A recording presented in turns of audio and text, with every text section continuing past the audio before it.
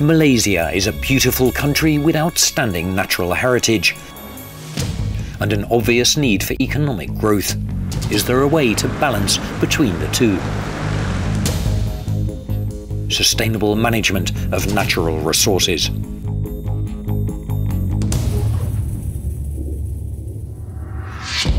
A vast green blanket covers the island of Borneo.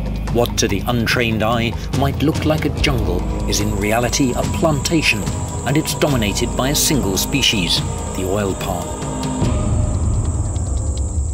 Palm oil obtained from palm fruit is found in about 50% of all supermarket goods. The oil palm is clearly an important source of income, contributing to the economic growth of countries like Indonesia and Malaysia. At the same time, plantations, construction and roads are devastating tropical rainforests. Species endemic to Borneo are being lost.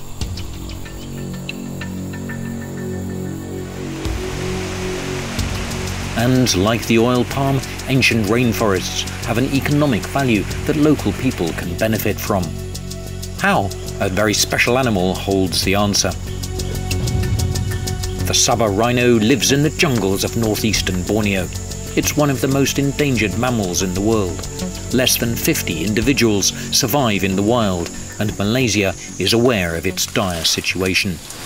It's not just about uh, Malaysians losing a rhino. It's about humanity losing a rhino. Profits from the plantations are immediate, but nature conservation needs investment why bother with an animal like the Sabah rhino? But these animals are special, really, when you work with them and you see them, how unique they are.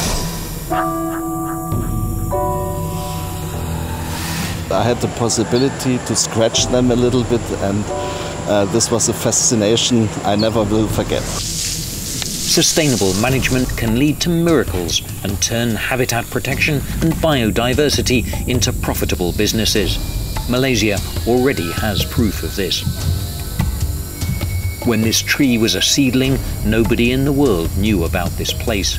But now the tree has become the Sepilok giant. It's funny because no one ever realized that a place like this would turn into, um, now I would say, a tourist destination. The Sepilok Orangutan Sanctuary and Rehabilitation Centre attracts more than 100,000 visitors per year.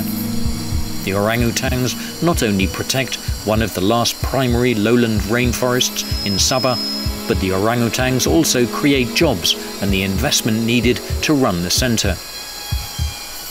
When tourists come over to Sabah because they want to see nature at its best, with pristine jungle. If the Sabah rhinos breed successfully, the rhino sanctuary in Tabin can soon become a top-notch tourist destination, just like Sepilok. The sanctuary can provide many jobs for locals seeking employment. The, the imperative now is we have to force, force, as it were, force all the rhinos to breed if they can. So far, all natural breeding attempts have failed. To bring back the Sabah rhino from the verge of extinction, Malaysia looked for outside help. With the support of the German Federal Ministry for Education and Research, an international team of scientists joined the conservation efforts of the Sabah government.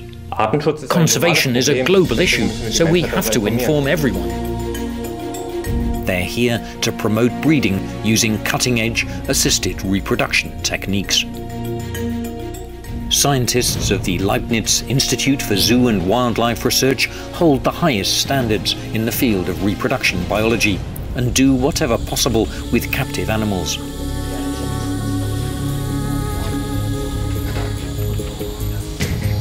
At the same time, other scientific teams are helping to identify areas of high diversity So it's no use setting up a beautiful conservation project that is not supported by the local community because it won't last.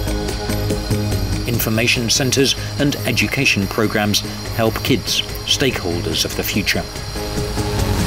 With the help of the internet, the Sabah Rhino project collected thousands of fans.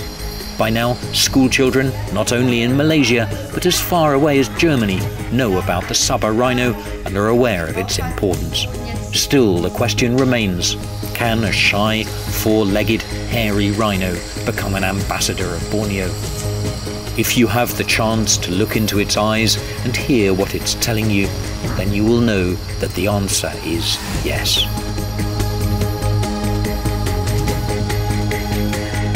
Join and support the Sabah Rhino project. Go to Facebook, become a friend.